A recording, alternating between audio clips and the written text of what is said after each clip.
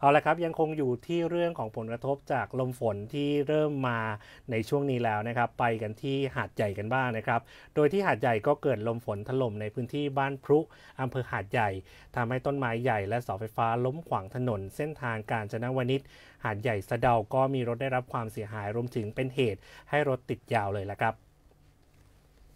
เมื่อวานนี้ช่วงประมาณบ่ายสามโมงครึ่งนะครับ ได้เกิดฝนถล่มและก็ลมกระโชกแรง ในพื้นที่ตำบลบ้านพรุอำเภอหาดใหญ่จังหวัดสงขลาทำให้ต้นไม้ใหญ่และเสาไฟฟ้าล้มขวางทาง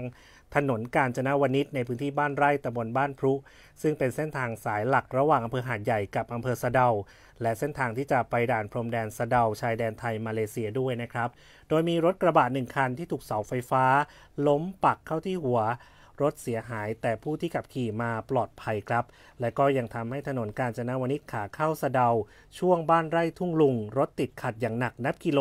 เพราะว่าไม่สามารถผ่านไปได้นะครับ เนื่องจากว่ามีรถไม้แล้วก็เสาไฟฟ้าล้มขวางถนนอยู่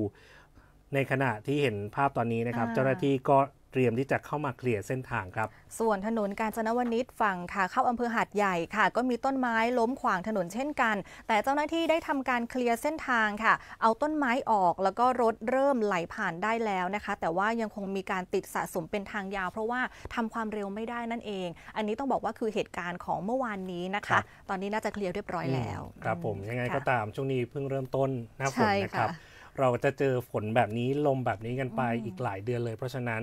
อะเรื่องของต้นไม้เสาไฟฟ้าเราควบคุมไม่ได้ แต่ว่าเราค่ะอาจจะต้องขับรถขับราด้วยความระมัดระวังในช่วงเวลาที่มีฝนฟ้าตกลงมาด้วยนะครับ ค่ะ